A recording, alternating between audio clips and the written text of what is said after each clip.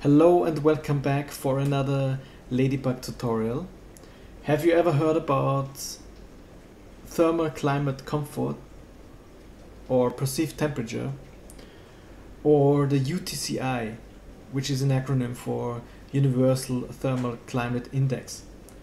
So this is the topic for the next few um, episodes the idea is to take it a notch up and take all the learned knowledge and information from the previous examples and apply to this very very important chapter of ladybug. So when uh, looking into ladybug you for sure have seen um, these things like for example the lady ladybug outdoor comfort calculator um, or the solar adjustment temperature things like that so this is exactly what we are looking in this uh, tutorial. So imagine you have a, you need to design an outer space and you think about the quality of outer space, meaning what what does people keep in that space and how well is it received well one thing one one very important thing is for sure the perceived temperature so I often I often see design reports where there is the, climate analysis chapter, and they, show a windrose, and then you show some uh, rainfall data and some temperature data, and then it's actually very little taking these things in consideration when you look at the design at the end. So there's most of the time it's about how how the design looks like, but it doesn't tell you if it's a, a comfortable space. It's also not really enough to know only the temperature of a space it it's it's it correlates very much with humidity and with uh, the wind wind speeds. So a space with let's say 25 degrees, which would be normally perceived as very comfortable, but with a very high humidity, could feel very uncomfortable and much hotter than it actually is. Or you have a space with 30 degree air temperature, but you have a wind breeze, you have a wind, and it actually feels quite nice and it feels like 25 degrees. So that's what we are looking at. That's what this kind of set of tools tries to determine. I think it can be a really, really interesting and, and also a, like a selling point for design, really. So I, I think in the first, we will not get to this model in the first episode, probably, maybe. Um, but we will look at uh, the tools and how they work and, and how we all stitch it together and in here I just this is just a very very simple model I use the weather data to understand the perceived temperature of a certain daytime and the day of the year. With the statistics file of the weather data, I can determine uh, th things like the most hottest the most hottest week of a year we, we discussed this before, but you have these statistics files where you can actually read the, it gives you the, the extreme hot week, typical hot weeks, and so on. And that helps me to actually look at the most extreme conditions for a space which I'm interested in. And then I, I just added some trees. Of course, these are like spheres uh, which create some shade.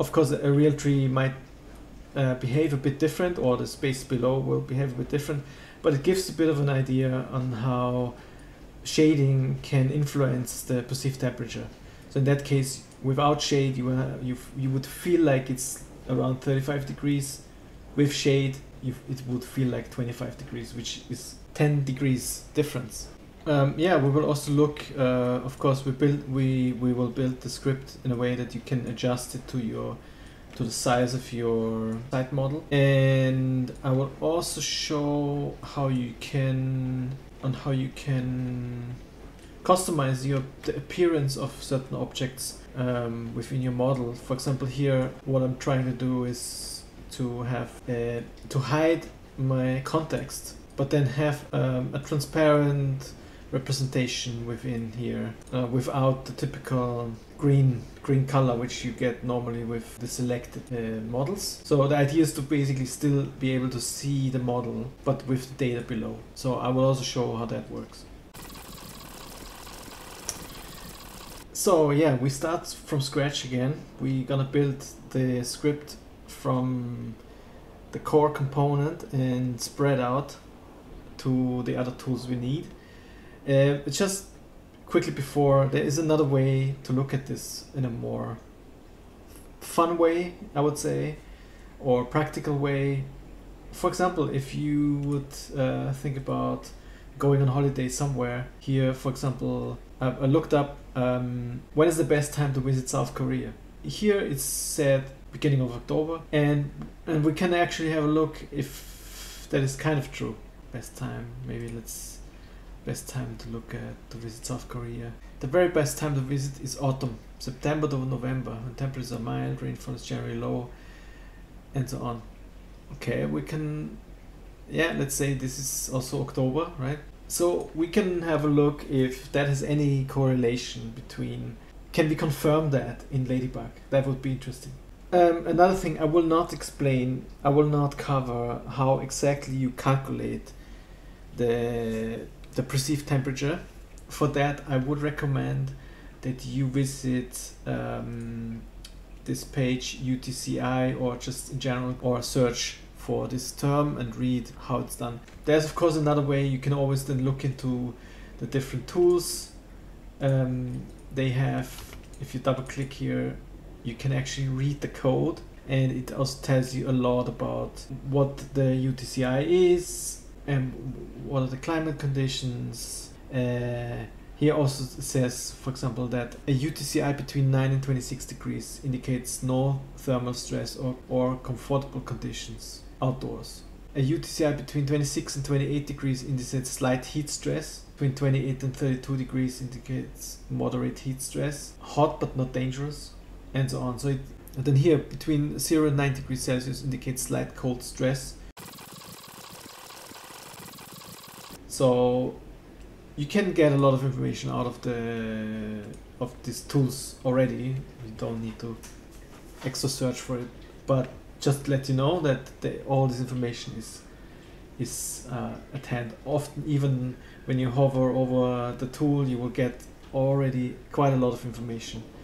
I, I will not cover everything because it's it's gonna it's gonna be too much for these short tutorials. So in what I do is I show you how to assemble um, the tool and, and, and, and, and to explore then it's your job. Okay, actually we opened already the, the, the, the right tool. So again, we we start from kind of reverse engineer because I, think this is quite a um, it's quite a good way to actually to understand the the the build up and how you can assemble these tools. And yeah let's let's start. Okay so what do we need? The dry bulb temperature. The dry bulb temperature is basically the temperature you measure with a thermometer. So temperature in celsius for example.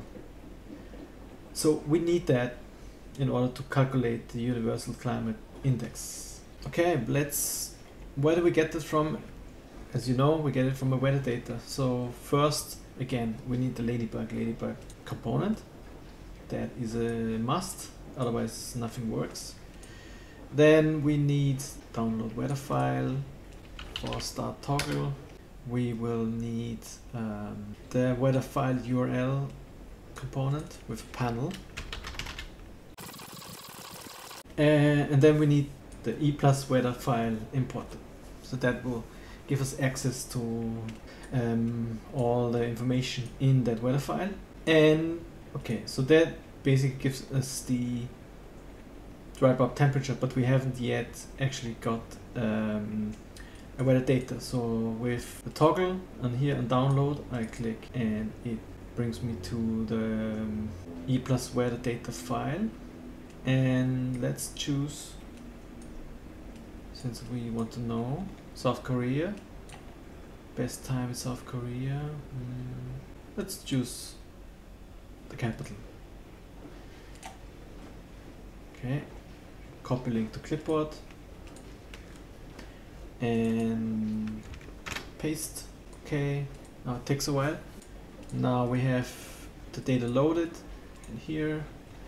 We can actually see the dry bulb temperature. Bulb temperature for each hour of the day.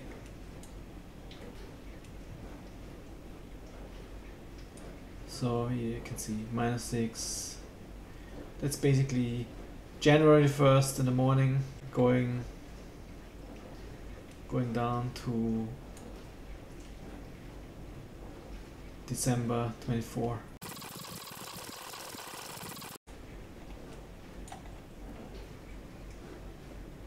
Okay, and yeah, this goes in here.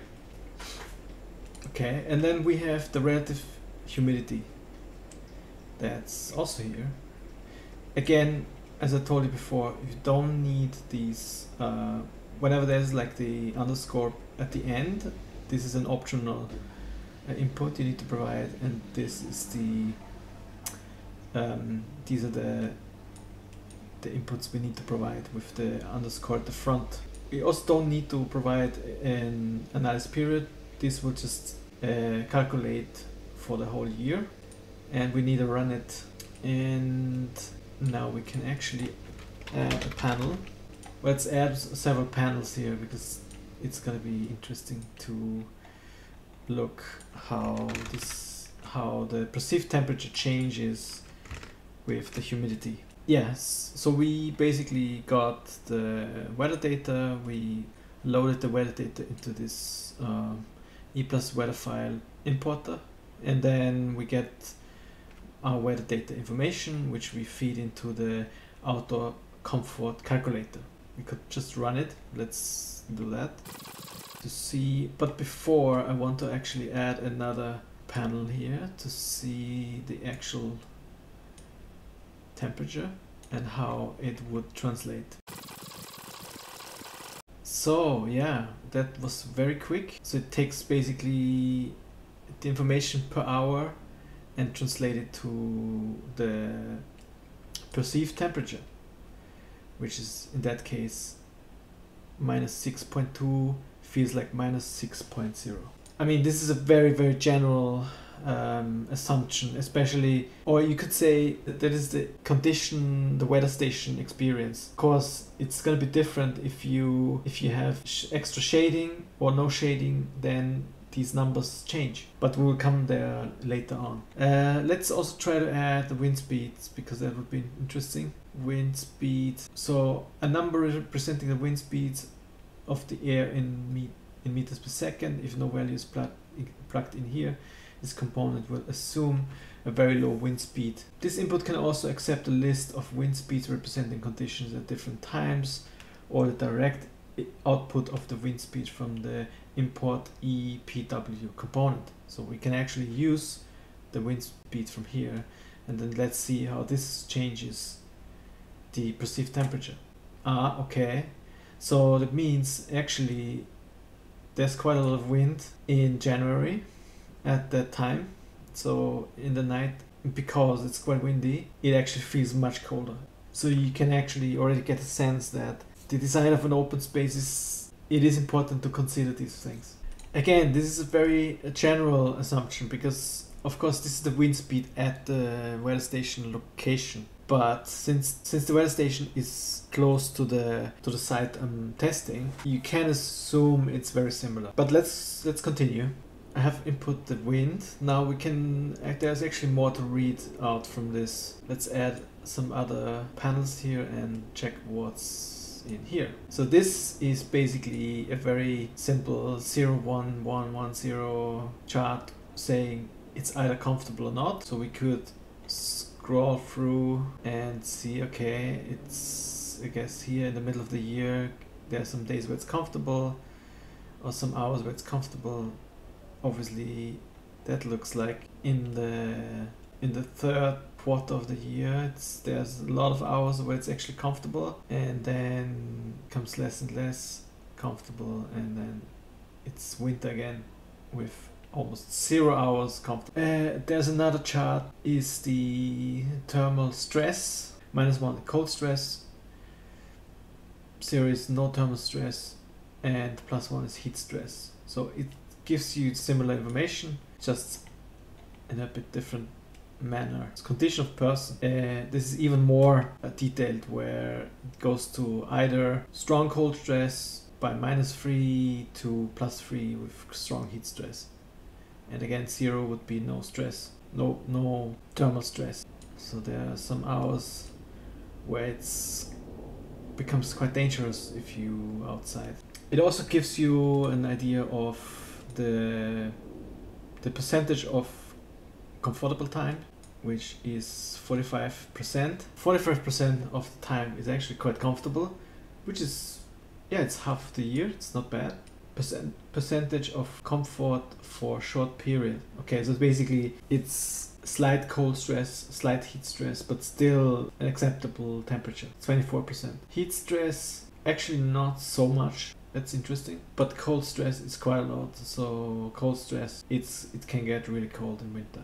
So now, I mean, from this you can already imagine that to, if you design an open square, for example, and you don't provide any shading or anything which is mitigating wind, then you end up with a space which is quite uncomfortable for the most of the time of the year. And that's not what you want when you design an outdoor space. Just remember that we we can actually show this uh, as a 3D chart. We we did that in the past. We just used this 3D chart uh, component, and actually it gives us already a first a first clue of the more comfortable time during the year. So if we say if we examine that let's say 25 20 this this this area between 14 and 20 is the most comfortable time of the year. Then you can actually see that october september october uh, seems like yeah seems like almost the best time to visit. Also here april may there's there's a time which it seems very comf- very comfortable as well. But there is a bigger chunk which is more seems like more stable it seems that this time